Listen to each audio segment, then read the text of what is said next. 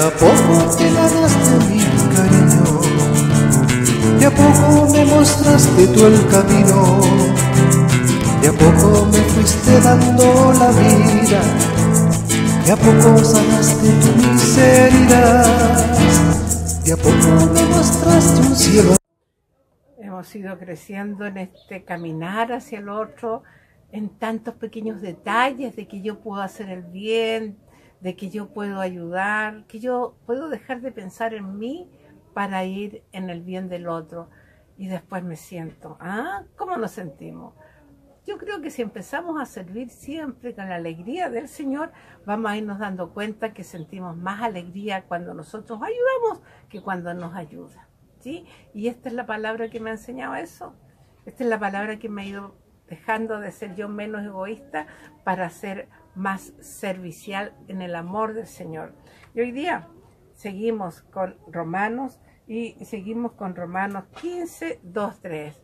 Mira lo que el Espíritu Santo nos ilumina y como subtítulo 15 dice Jesucristo como ejemplo.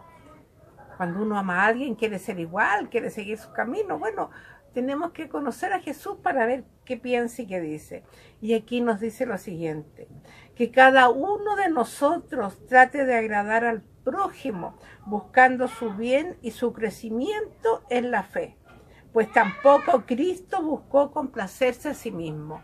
Palabra de Dios, palabra de amor que me une, que me guía que cada uno lo hemos visto durante este mes ojalá alguien me dijo, hermana, me alegro que se esté repitiendo tanto esto de que tenemos que ayudar, ayudar, porque nuestro egoísmo es muy grande y el mundo acá rato me dice, piensa en ti, no te preocupes, haz lo que quieras. Ya, y tenemos que seguir el ejemplo de Jesús. Trate al prójimo buscando su bien y su crecimiento en la fe, no solo el bien que ahora no hemos dedicado, hoy necesita la ayuda social, perfecto. Pero ¿cómo estamos en la ayuda del crecimiento espiritual de mi hermano? Lo vemos que a lo mejor tiene mucho dinero, no necesita nuestra ayuda económica, social, pero sí lo vemos amargado, no lo vemos feliz, lo vemos con esa sonrisa fingida, porque el mundo me dice así, pero internamente no.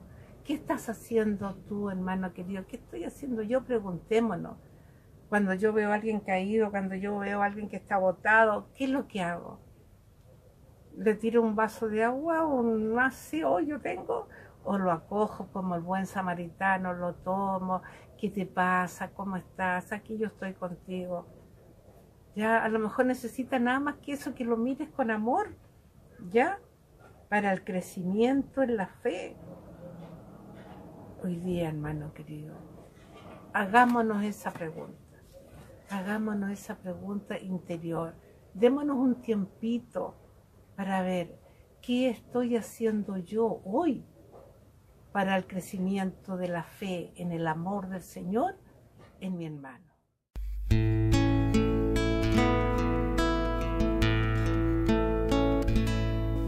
Soy un grano de arena que alaba a Dios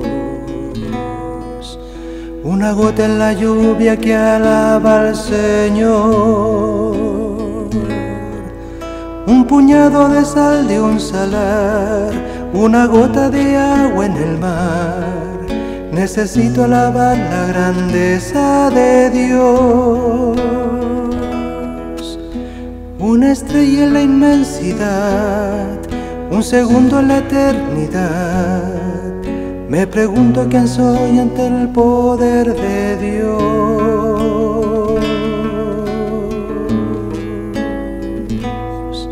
Como río que corre buscando el mar. Como abeja en su viaje buscando el panal. Así busco en mi vida al Señor y al hermoso destino final algún día veré la grandeza de Dios.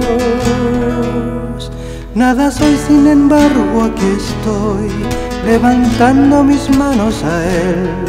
Es hermoso vivir alabando al Creador. Una estrella en la inmensidad, un segundo en la eternidad Me pregunto quién soy ante el poder de Dios. Nada soy, sin embargo, aquí estoy, levantando mis manos a Él. Es hermoso vivir alabando al Creador. Es hermoso vivir alabando al Creador. Es hermoso vivir alabando al Creador. Es hermoso vivir alabando al Creador. Es hermoso vivir alabando al Creador.